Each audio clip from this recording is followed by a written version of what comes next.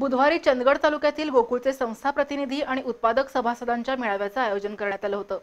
माजी मंत्री भरमुअण्णा पाटील यांनी केलेल्या आवाहनानुसार गोकुळ मल्टीस्टेट करण्यासाठी सभासदांनी एकमुखी पाठिंबा दिला. संपूर्ण चंदगड तालुक्यातून गोकुळ मल्टीस्टेट करण्यासाठी सभासदांचं पाठबळ मिळालंय.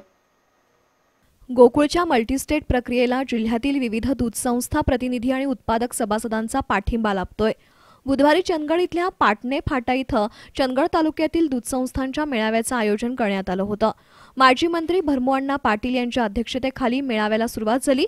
गोकुळचे संचालक दीपक पाटील यांनी संघ मल्टीस्टेट करण्यासंबंधीच्या ठरावाचं वाचन केलं.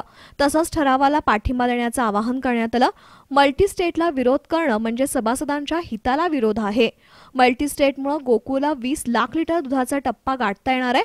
त्यामुळे संघाच्या सर्व सभासद संस्थांना लाभ होणार असल्याचं भरमोअण्णा पाटील यांनी सांगितलं.